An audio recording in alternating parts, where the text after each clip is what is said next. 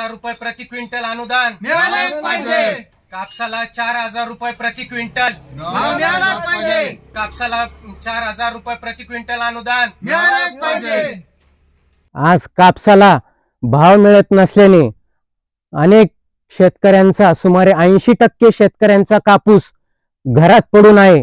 कापूस विकत विकता येत नसल्यामुळे आमच्या शेतकऱ्यांचे मुलींचे लग्न थांबले आहेत. परत शेतकऱ्यांनी घेतलेलं कर्ज फेडायचं कसं? हा प्रश्न कापूस उत्पादकांसमोर आहे.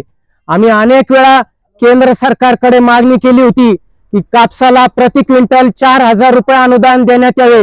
परंतु केंद्र सरकार व राज्य सरकारने कोणतीही दखल घेतली नाही. म्हणून आज आम्ही सर्व कापूस उत्पादक स्वतःला या कापसात गाडून घेत आहोत.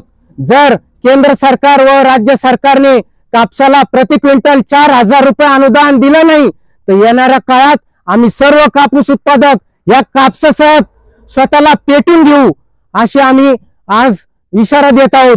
जर केंद्र व राज्य सरकारने तातडीने का- कापूस उत्पादकांना चार हजार रुपये प्रति क्विंटल अनुदान दिलं नाही तर आम्ही सर्व शेतकरी कापसासहित आम्ही स्वतःला पेटून घेऊ. आज आपण पाहिलं तर जगून सुद्धा शेतकऱ्याला काही मिळत नाही.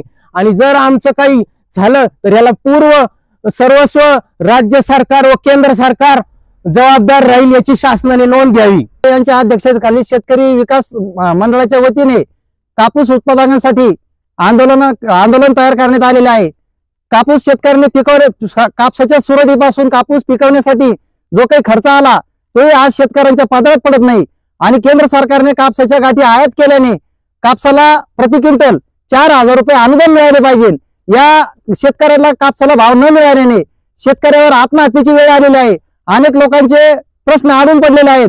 अनेक लोकांचे मुलीचे लग्न शेतीचे वेगवेगळे मशागत करण्यासाठी या कापसाचा भाव प्रति क्विंटल जास्तीत जास्त मिळाला जर नाही तरी यापुढे शासनाने प्रत्येकी प्रति क्विंटल चार हजार रुपये भावाने अनुदान त्वरित जाहीर करण्यात यावे. अन्यथा पुढील आंदोलनाची लवकरच तयारी करण्यात येणार आहे. विकास मंडळाच्या वतीनं शिवराज कापडे पाटलाच्या अं, अध्यक्षतेखाली आम्ही आज कापसासाठी आंदोलन करत आहोत.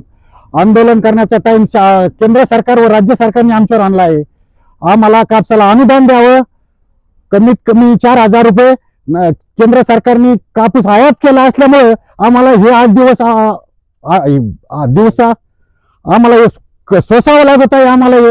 आणि जर आम्हाला शासनाने जर अनुदान नाही दिलं तर आम्ही आम्ही या कापसात पिटून घेतल्याशिवाय राहणार नाहीत.